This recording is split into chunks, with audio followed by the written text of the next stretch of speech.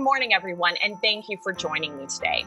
First, I want to thank Professor Athanassakos and Ivey Business School. It is an incredible honor to be here speaking at a center named after Ben Graham himself.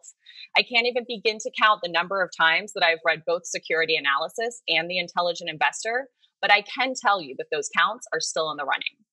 It is also a tremendous honor to be part of a presenter lineup of truly renowned value investors in their own rights, investors whose letters I eagerly anticipate, and like Ben Graham's work, I often reread. Now, if you were registered to attend this same event last year, you may already be aware that the title of my speech was Values Investing ESG Frameworks that Minimize Risks and Maximize Returns. And as you probably saw in the program, that title has stayed exactly the same. Last year, I had the expectation that I would head in person, of course, to Ivey Business School to not only speak, but really on a mission to pound the table and persuade the audience that robust environmental, social, and governance analysis is an absolutely critical component of a modern value investment strategy. And as an investor who invests not only through the prism of value, but also as a shareholder activist, I do, at least in a metaphorical sense, consider pounding the table to be squarely within my circle of competence. But then 2020 came, and 2020 stole my thunder and in many ways pounded the ESG table for me. 2020 was nothing if not a year when globally cataclysmic events drove profound and across the board transformation. And it was a year that put to rest any notion that environmental, social, and governance risks and opportunities exist as mere footnotes to investing analysis. COVID 19 and the recurring West Coast fires were painful reminders of the increasingly catastrophic impacts sustained from extreme environmental events. The COVID 19 crisis further underscored the dire need for strong social policies and practices that protect the health and well being of corporate stakeholders, most especially frontline employees. And the racial justice protests have demanded the long time coming recognition that structural racism persists and must be redressed by, among other efforts, driving diversity, equity, and inclusion across workforces and directly into corporate boardrooms and C suites, a critical aspect of governance and oversight. So, why then, given 2020's undeniable success in pounding the ESG table, did I choose to leave my topic unchanged? Because while ESG and sustainability themes dominate business and investment news headlines, let's be clear the incorporation of ESG risk factors and opportunities into investing strategies has nearly exclusively boiled down to standalone ESG funds, or less frequently, as an aspect of growth investing analysis. We rarely, if ever, hear these financially material topics and factors discussed within the context of value investing frameworks and strategies. So I am here one year later to sound the alarm and, yes, to even pound the table that not only are environmental, social, and governance risks and opportunities of vital importance to value investors, they are perhaps most vitally important to value investors when compared against every other type of investor out there. Why is that the case?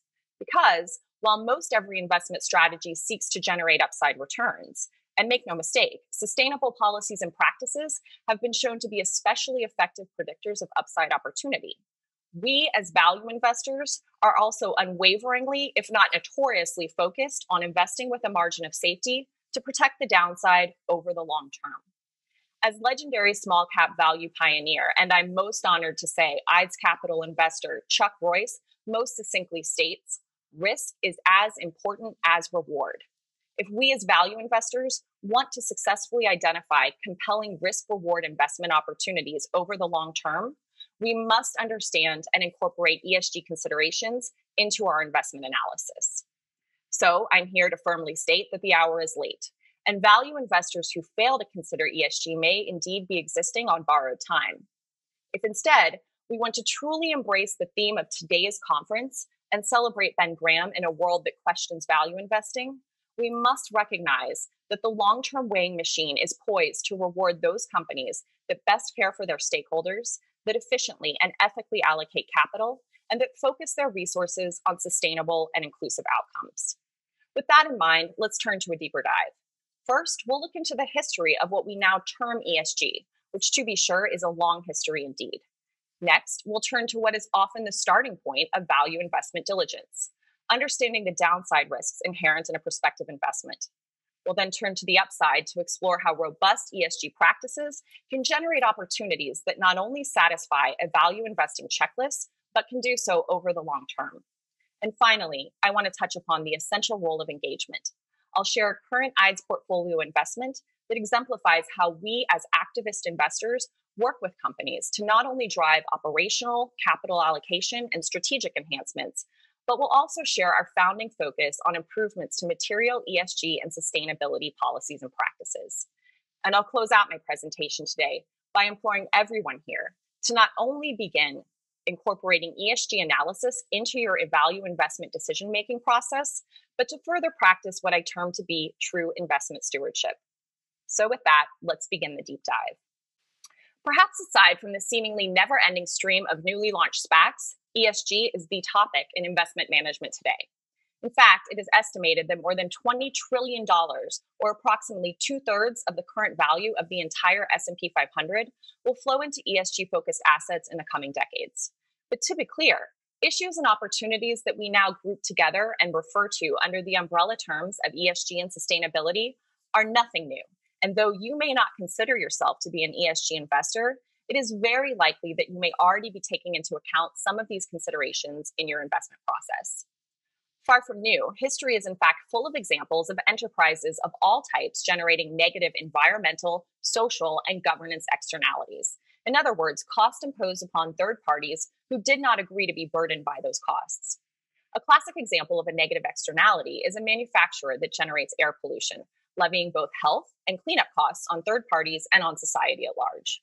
In this case, the actual costs associated with the products are not fully borne by the manufacturer, creating a vicious cycle where the manufacturer may actually be incentivized to produce more goods than it would if it had to pay the full costs associated with production.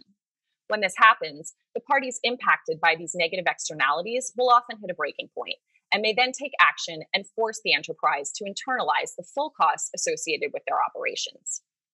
Now, as I've already highlighted, we are in a moment where ESG dominates headlines, and it is fair to say that weak ESG practitioners are now being compelled to internalize burdens at a very fast pace. In a moment, we'll explore some of the more meaningful dynamics driving this accelerated reckoning. But first, it is critically important to recognize that when it comes to ESG and sustainability, everything old really is new again. Companies being compelled to clean up their ESG acts is not a novel concept. And over the course of history, there are many forces at play, but three particular mechanisms of change stand out as those that have been most responsible for enhanced standards around environmental, social, and governance practices. First, changes in public sector policy, in other words, legislation, administrative agency regulation, and judicial decisions. Second, private sector self regulation. And third, public pressure in combination with the media. Now, it's worth noting at the outset that the lines between each one of these mechanisms of change are not crystal clear. They influence one another. So let's first examine the role that public sector policy changes play in evolving ESG standards. Over the course of history, regulation of private actors has existed as a central feature of government. The first US federal environmental law was the Rivers and Harbors Act of 1899. Now, there were many controversies that prompted this legislation, which prohibits the unauthorized dumping of materials, including mud, oil, refuse, and as you can see in the photo, timber into water sources.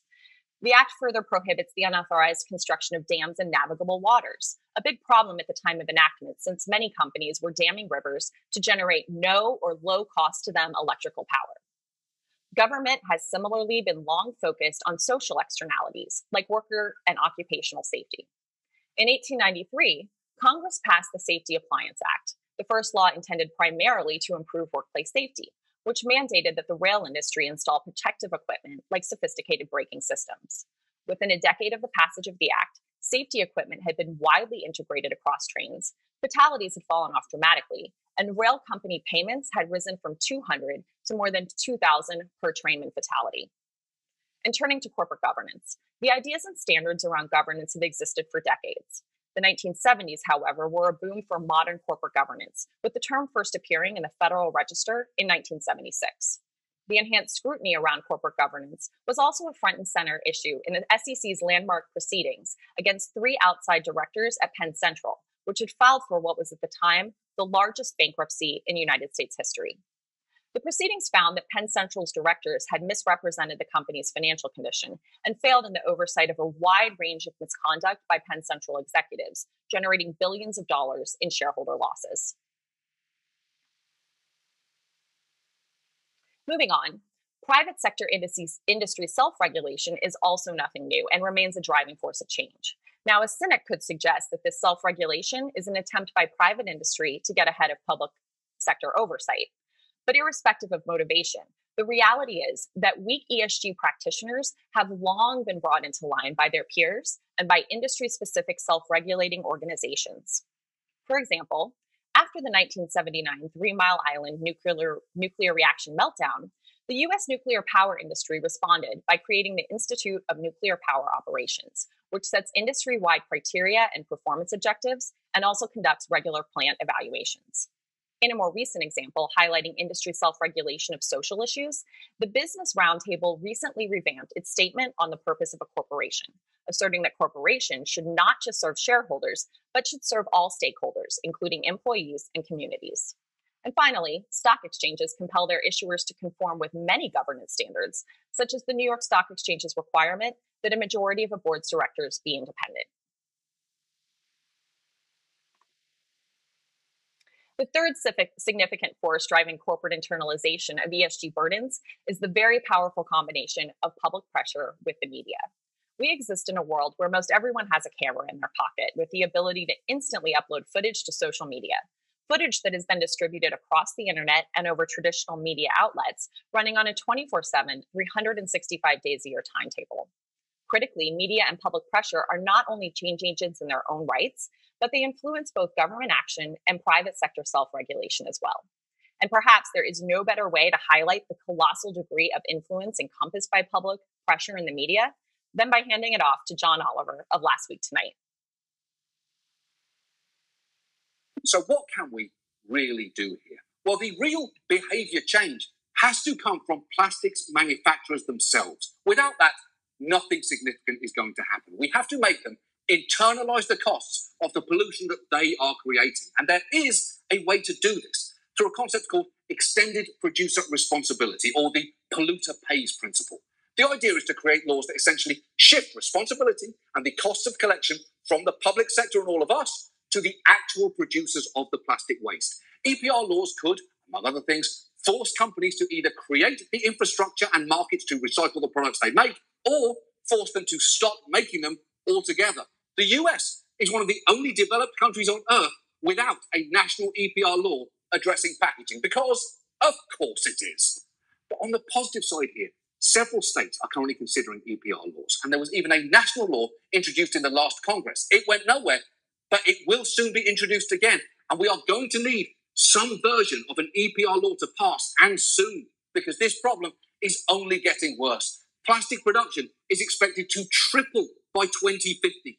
And it is obvious that meaningful change is only going to come through being able to force this very powerful industry to do things that it has shown for half a century it has absolutely no interest in doing. We have to make them change. And if not for our sake or the sake of future generations, let at least do it for all the fish who are about to be outnumbered by plastic in the ocean. Just like me! Ain't that right, John? Exactly, Slurp, just like you. That's with this understanding that evolving ESG standards are really just one other more example of history repeating itself, albeit at what is now an undeniably faster clip. We are almost ready to focus on the e- integration of ESG considerations within value investment diligence. But before moving on, I do want to highlight several additional dynamics that are specifically underpinning the investment world's expanding attention to ESG and sustainability factors. Now, while some might see this as a fad at IDES, we believe that ESG is here to stay and for good reason. We are living in a world of improved corporate transparency around ESG policies and practices. We are living in an era of enhanced corporate disclosures and his, uh, of historic and current ESG data points, statistics, and metrics. And we expect this ex- expansion in available information to only continue. We are further living in an era of never before available data analysis driven by AI enhanced computing capabilities. And finally, we are also living with the understanding that we are facing what many consider to be existential environmental and social threats. This combination of transparency, data availability, and analytical power against the backdrops of existential concerns and round the clock public scrutiny is driving an ESG renaissance within the investment landscape from which we believe there is no turning back. So, what With the historical context behind us, let's fast forward to the present and consider how we, as value investors, must incorporate ESG factors into our investment decision making process. I've highlighted as an activist, I am sometimes in the business of metaphorical table pounding, which means that I'm also in the business of offering up carrots and sticks. So I'll begin this part of my presentation like any true value investor would with the sticks, or in other words, with the consideration of material downside risks inherent in ESG shortcomings and failures. And there is no better way to do this than a review of several recent ESG incidents and controversies at large publicly traded companies. The numbers don't lie. Weak ESG policies and practices and unsustainable business models are clear risk factors for value destruction. Savita Subramanian and the ESG team at Bank of America Merrill Lynch recently issued a note that examined the market valuation impact of a significant ESG controversy at 24 large cap companies, and that analysis is striking. More than $500 billion in shareholder value destruction within a year of the incidents digging in, let's take a closer look at three specific ESG controversies. And at this point, I do want to provide notice that I'll be discussing three extremely disturbing corporate incidents involving BP, Wynn Resorts, and Boeing Airlines, should these incidents be of an especially sensitive nature for anyone joining in today.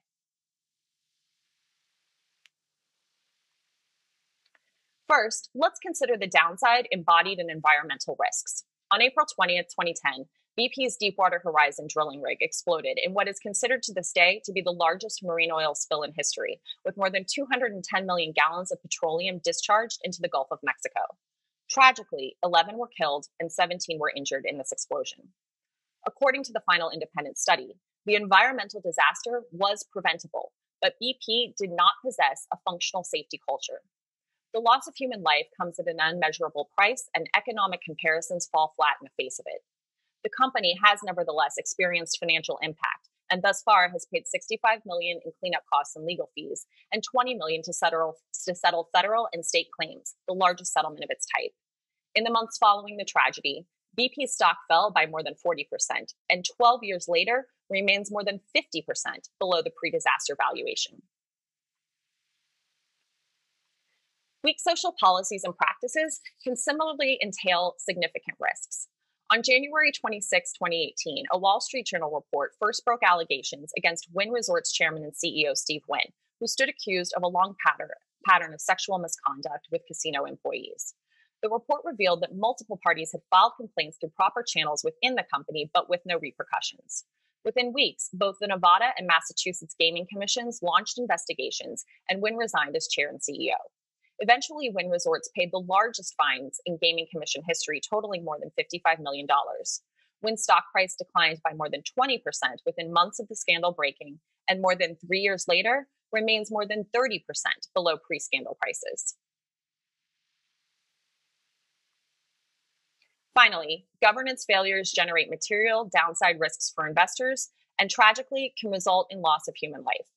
On March 13, 2019, the U.S. Federal Aviation Administration grounded Boeing 737 MAX after the two horrific crashes, which killed 346 passengers and crew members.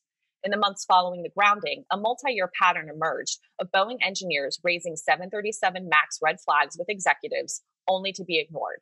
One engineer even sent a letter to Boeing's board outlining his grave concerns about failures within the program. No action was taken by the board, and less than three weeks later, Ethiopian Airlines Flight 302 crashed. The loss of human life is an incalculable loss and has resulted in criminal pen- penalties for Boeing. Those penalties total 2.5 billion, including a victim fund, and Boeing has further sustained estimated financial losses of more than 80 billion dollars. Boeing's market value decreased by 30% after the groundings, and the stock remains more than 40% below pre-incident valuations.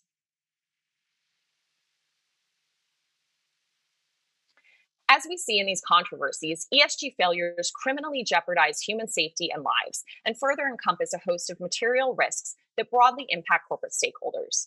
And their valuations have adjusted to reflect these inexcusable failures. In addition to the financial losses, it is worth consider- considering the justified destruction of brand value sustained by BP, Wynn Resorts, and Boeing, each a company with broad levels of consumer awareness. These hits to valuation make sense against the backdrop of corporate balance sheets that have been fundamentally transformed over the past generation. In 1998, intangible assets, which include intellectual property and brand, brand equity, represented less than 30% of the book value of the S&P 500. Today, intangible assets represent nearly 70% of book value, exposing weak ESG practitioners to significant value destruction through reputational damage. As Warren Buffett most effectively highlighted during his tenure righting the wrongs at Salomon Brothers, lose money for the firm, even a lot of money, and I will be understanding. Lose reputation for the firm, even a shred of reputation, and I will be ruthless. Value investors seeking to invest with a margin of safety must develop a comprehensive understanding of the potential exposure to intangible asset value destruction through a framework that incorporates environmental, social, and governance risk factors.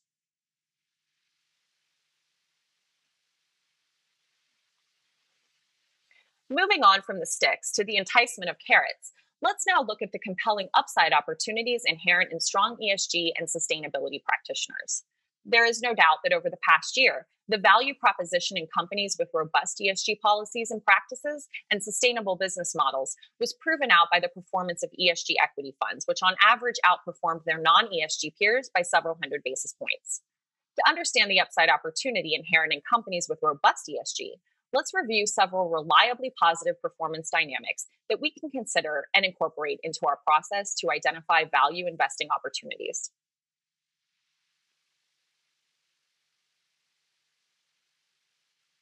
First, ESG factors exhibit superior alpha generation when compared against measures of quality. In a recent report, the ESG team at Bank of America Merrill Lynch enhanced the risk adjusted returns of several investment strategies with, in one model, ESG, and in another model, quality. The results were conclusive. ESG is a better adjunct to enhance risk adjusted returns in six out of seven strategies, including forward earnings yield, dividend yield, dividend growth, and price return, among others. The team similarly found that ESG was the best signal for predicting future earnings risk. Companies that are ranked higher by ESG data providers see lower futures earning volatility. And conversely, those companies in the worst quartile of ESG ratings saw significantly greater earnings deterioration.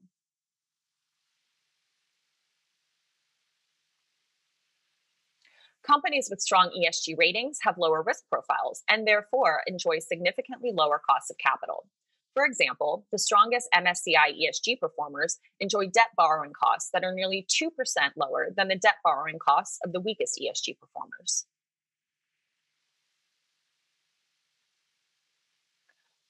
Strong ESG ratings are a predictive signal of future return on equity, with the strongest ESG performers generating returns on equity that are nearly 4% higher than the weakest ESG performers.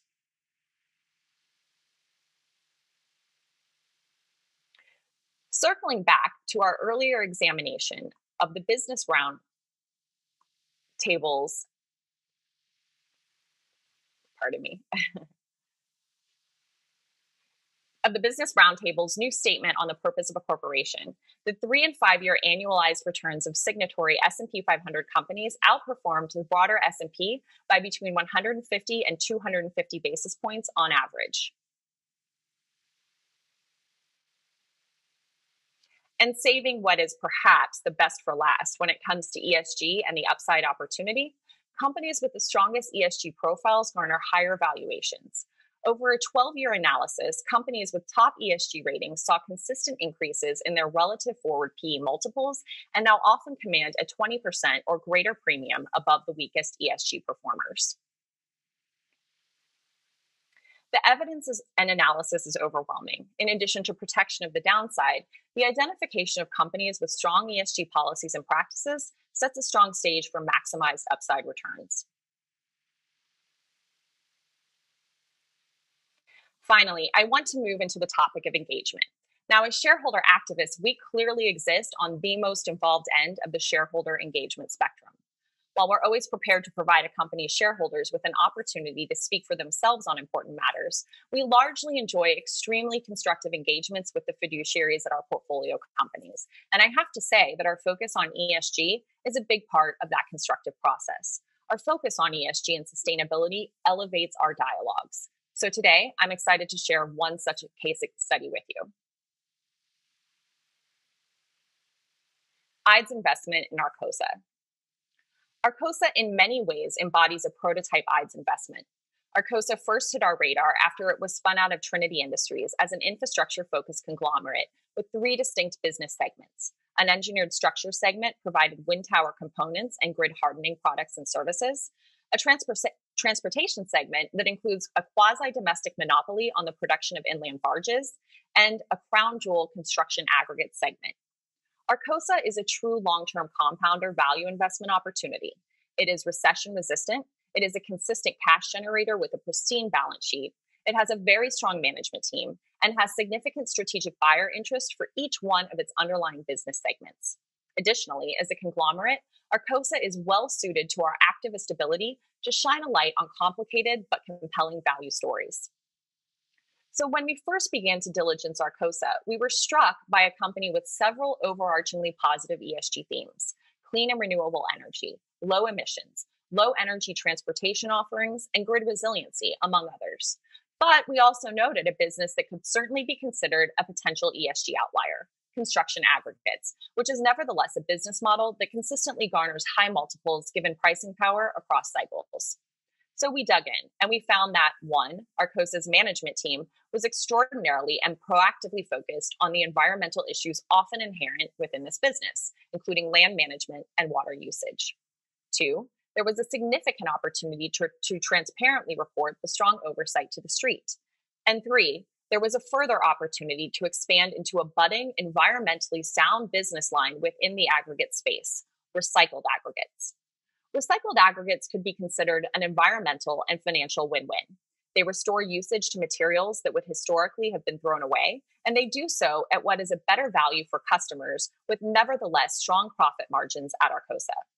Recycled aggregates decrease landfill usage and improve air quality by reducing haul distances and energy consumption. Given the pristine Arcosa balance sheet, there was flexibility to build this environmentally sound business within Arcosa, and most especially through strategic acquisitions. And that is exactly what has happened. Over the course of our ownership in Arcosa, the company, leveraging that pristine balance sheet, has made two recycled aggregates acquisitions, immediately giving Arcosa the leading position in the domestic recycled aggregate space. But to be clear, our ESG focus at Arcosa is broad and spans not only environmental topics, but social and governance matters as well. Overarchingly, we identified within Arcosa a very significant opportunity to enhance transparent reporting of current and historic ESG statistics, policies, practices, and forward looking goals.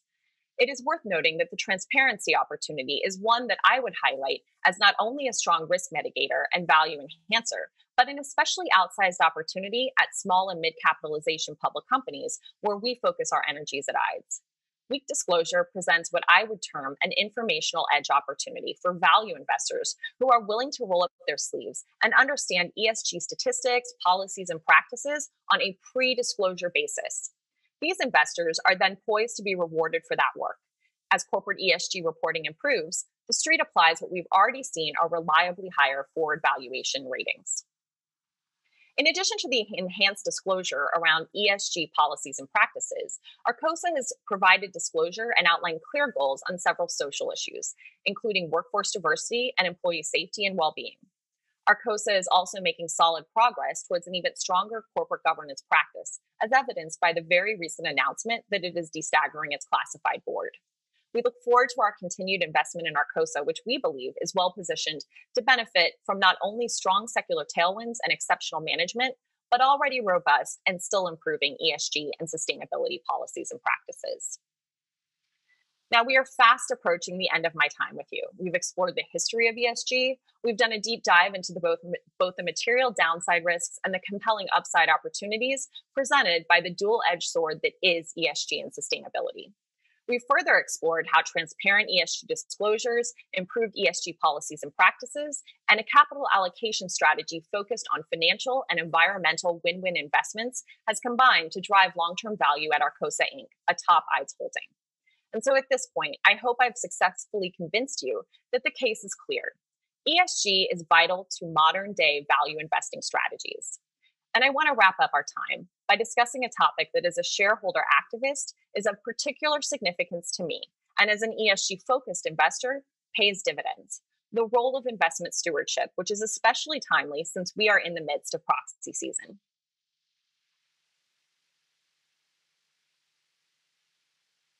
As a shareholder activist, I am often faced with the need to take action and address two problems common to public companies, problems that we have seen overarchingly challenge corporate sustainability. The agency problem that can arise when fiduciary interests depart from those of their shareholders, and the collective action problem, often inherent in public companies, given many shareholders with disparate interests, financial objectives, and holding periods. Now, as activists, we are certainly empowered by an augmented engagement toolkit but I want to be clear. After many years of taking action to correct these overhangs, I am left with two profound con- conclusions. First, disengaged fiduciaries and shareholders present threats to long term corporate sustainability. And second, we, the community of value investors, are uniquely positioned to help remedy this wrong. As value investors, we do deep dives, so we are especially well prepared to ask the tough questions. We buy with the goals of reduce risk and steady and consistent compounding. And these are important objectives for fiduciaries to be reminded of within the context of their decision making capacities. And maybe most importantly of all, we are long term. So even when they might want us to, we generally do not go away. Companies must deal with us. As such, we are a force unto ourselves, and we are uniquely positioned to ensure the overarching long term sustainability of the companies that we own. With that in mind, I encourage everyone here to embrace investment stewardship because this is how our values drive value. And as part of that, please consider how do you use your voice? How do you vote your proxy? And how do you exercise the tremendous responsibility that comes with the privilege of being an asset owner? How do you engage to tip the long term weighing machine towards sustainable, inclusive, and profitable outcomes. And with that, I want to conclude by expressing my gratitude for your interest in joining me today. And I look forward to any questions that you may have for me later on as part of panel.